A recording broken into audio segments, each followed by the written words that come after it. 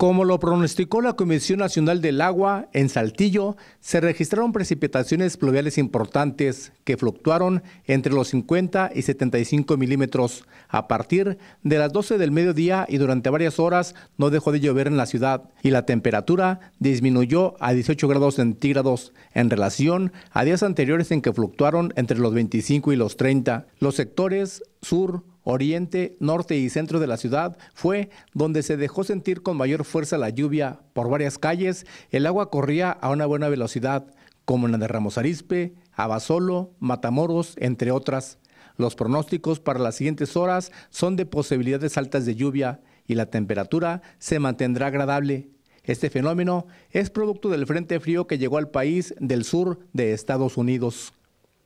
Con imágenes de Carlos Hernández, para RCG informó Eduardo Hernández.